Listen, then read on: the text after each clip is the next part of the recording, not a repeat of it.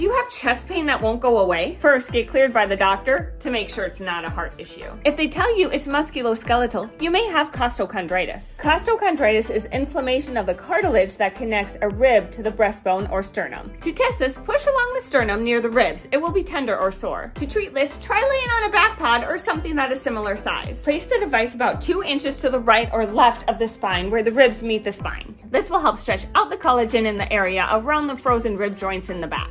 This will allow the ribs to move more freely while you're breathing and reduce the amount of chest pain you are experiencing.